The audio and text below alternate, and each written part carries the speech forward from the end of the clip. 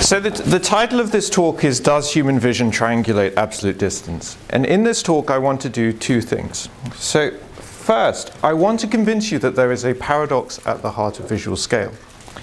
And then second, I want to go on to try and propose a solution. Right.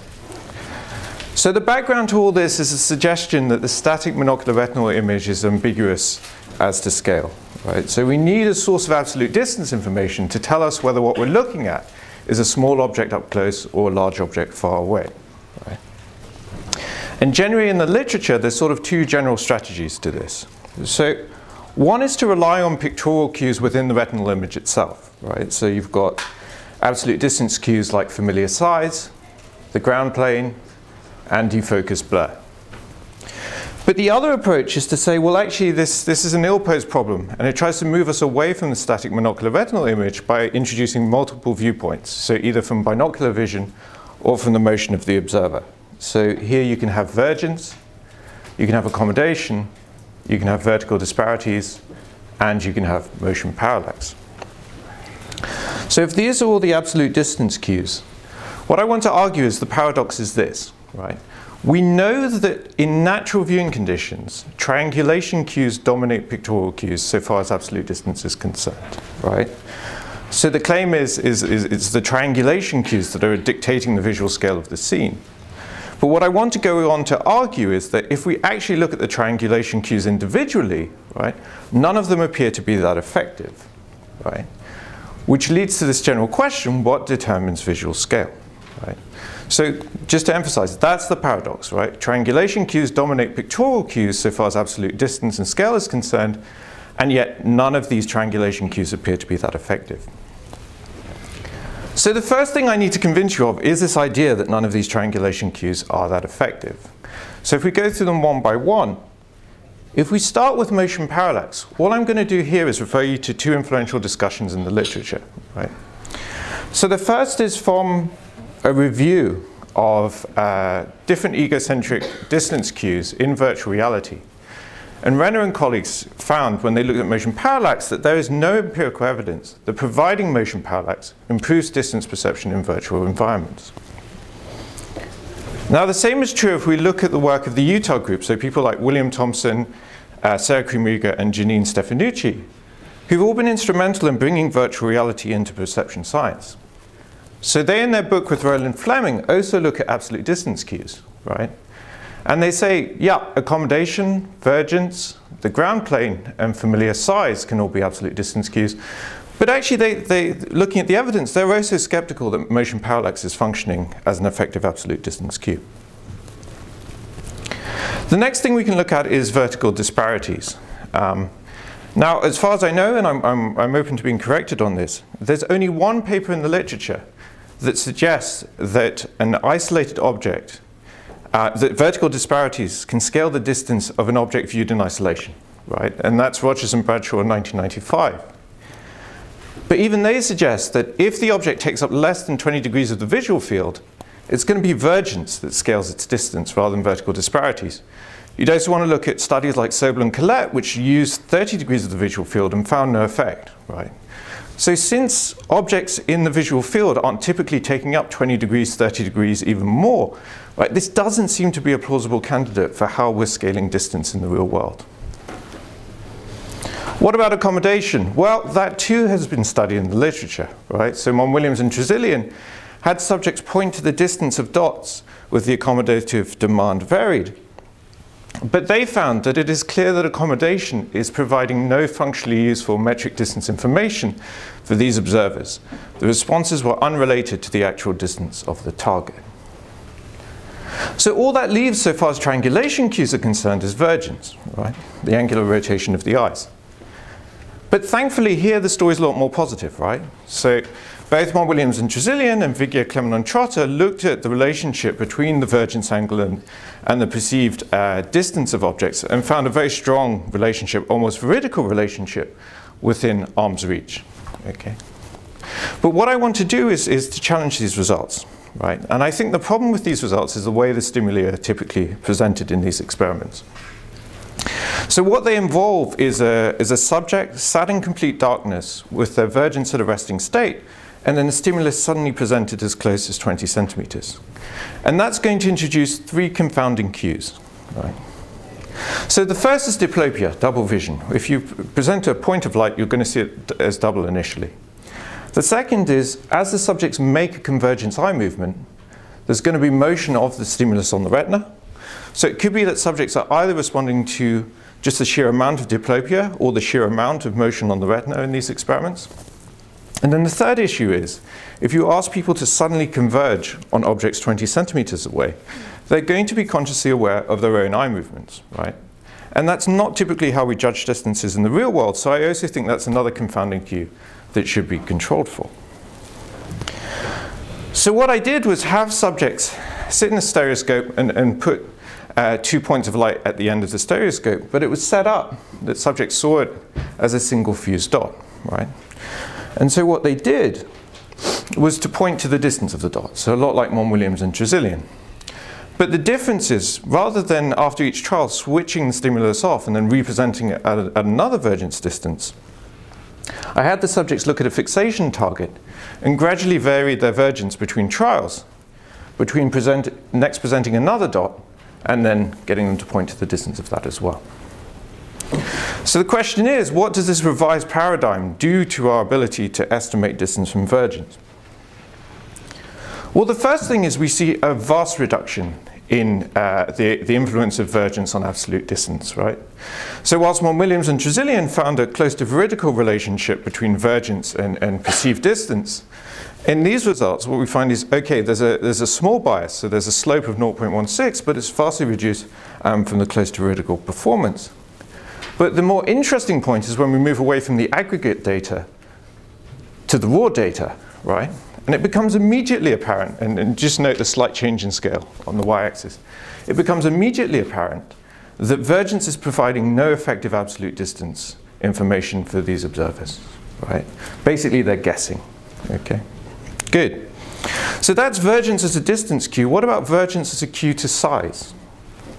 Well, what we can look at is, is the so-called Taylor illusion. This is a suggestion that if you have an after image of the hand, right, and then you move your physical hand closer to you, you're going to see it reduce in size. Or if you move your physical hand further away from you, you're going to see it increase in size, right? Now, Sperandio and colleagues looked at this, and they found a strong linear relationship between vergence and perceived size. And the reason they attribute this effect almost entirely to vergence is they also had a condition where they set the movement of the hand and vergence in opposite uh, directions. And what they found was only a modest reduction in the effect. Right? So they, they feel pretty confident attributing this effect uh, to the vergence change. So in order to test this, what I did was I had subjects look at a target, right? And the target could either increase by a variable amount over five seconds or decrease by a variable amount over five seconds. And all they were asked to do was judge, did the target get bigger or get smaller, right? But at the same time, I was moving, changing their vergence from 50 centimeters down to 25 centimeters on each and every trial. And the question is, does this change in vergence in any way bias the size judgment, right? So what would we expect? Well, if we have the, the physically induced change in the target size along the x-axis, and prob probability of judging the target as getting bigger along the y-axis with the chance of 50-50 in the dotted line, then if vergence wasn't a cue to size, we would expect the psychometric function to go through zero, right? So, uh, you know, subjects are at 50-50 at chance just when we don't induce a physical change into the stimulus, right? That seems, that seems pretty obvious. But if vergence is a cue to, to size, then even if we don't induce a change in the size of the stimulus, because vergence is changing, the subjects are going to see the target getting smaller. And so we need to introduce a physical size change to counterbalance that. And if you look at Sperandio and colleagues, it could be as much as 70% right? So the question of this experiment was, well, which of these two psychometric functions did we find? And the answer is the one that goes through zero, right? So I'm going to show you the results for 11 uh, participants, which are on exactly the same axes, okay? Okay, good. So what you'll see is that, you know, some subjects may be shifted to the left by, by minus two degrees, some shifted to the right by, by, by one degree, but basically all of these observers are, are clustering around zero, right, as their point of subjective equality, when they can't determine whether the target's getting bigger or smaller. So what you basically want to do is take these individual observers and build a hierarchical Bayesian model to try and estimate, well, what is the population bias viewed as a whole. We did that and simulated it, and, and, and these are the distribution of the posteriors. And what you find is a very negligible bias, minus 0.2% change in size, that isn't statistically significant, right?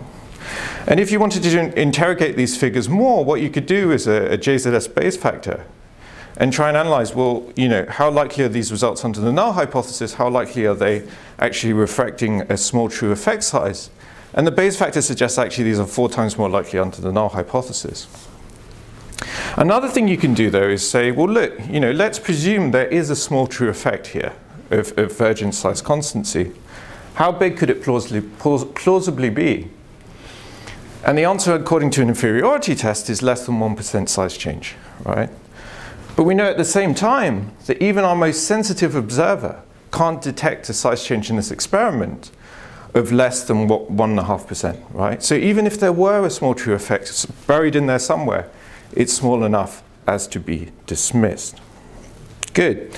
So that brings us to the end of vergence and with it triangulation cues, right? So if you wanted another way out of the dilemma, what you could then try and argue is, okay, I accept your position on triangulation cues, but what evidence do you have that triangulation cues dominate pictorial cues in natural viewing conditions?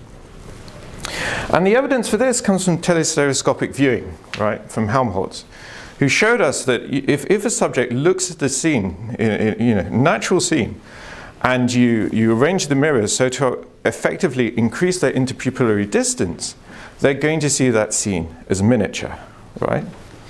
So if you could put your, your 3D glasses on, I'm going to try and give you an example of this. Okay.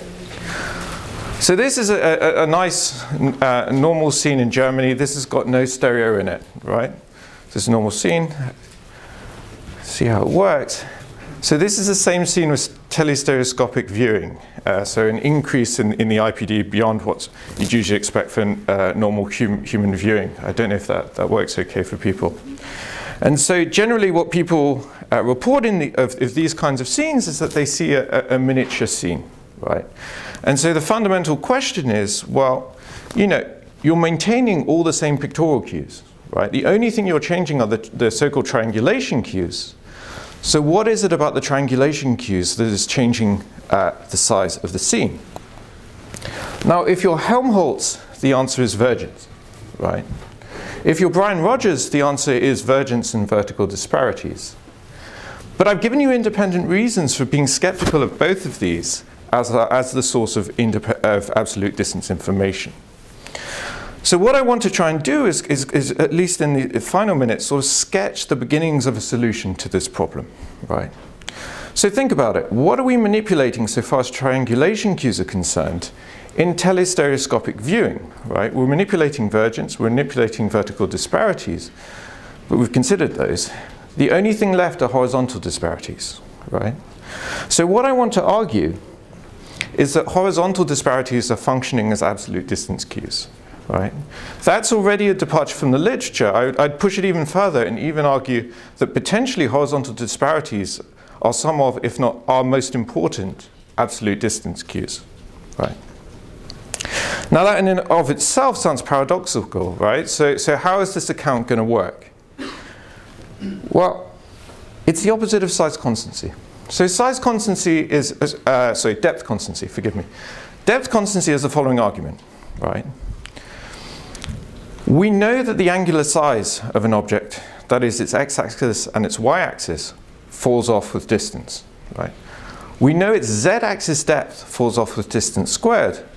So in order to preserve its 3D shape with distance, right, we have to know that d, we have to know that distance, okay?